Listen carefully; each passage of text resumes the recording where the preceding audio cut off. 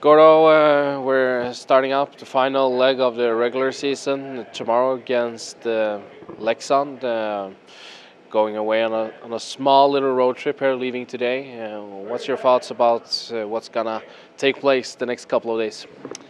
Uh, I mean, familiar for us. We've been on the road a little bit lately, so uh, just try to get out there and, and, get settled in and be ready to get up and have a good morning skate tomorrow.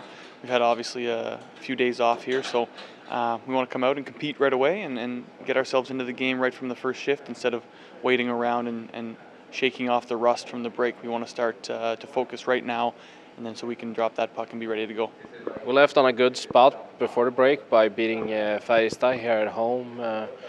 Uh, now obviously having a, a, kind of a practice week uh, but how how do you manage to, or work to, to get started right away as as you said and kind of keep on the winning streak well, I think we have some good energy going right now. I think uh, you know getting Brock back in the lineup, and I think Karki's back in the lineup, and, and, and having that win at the end. It was a nice week uh, of feeling good. It felt like we were building towards the right direction. Where you know we finished that week with a win, then you know the next practice it's official Brock's back in the lineup and, and guys are getting healthier by the day. So um, I know we got a good feeling going on here so we want to use that to our advantage. We want to make sure we we uh, give these guys an opportunity to step in and just feel like they're part of the group instead of having to save the world as they might you know if we were in a losing streak or something. So got to use that last win as a you know a trampoline to keep jumping forward as opposed to you know if you're losing three four in a row going into the break that dark cloud is still sort of over your head. So use that win as a springboard to get us going.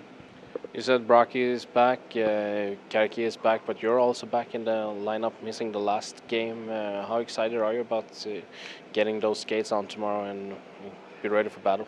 I'm excited. I think anytime you, you miss any time it's hurtful to watch. But I was lucky where you know we had that week off, so I only had to miss one game uh, and got 12 days off or something. So um, feel good, feel recovered, and I feel mentally ready to, to step in and, and feel fresh for the last 12.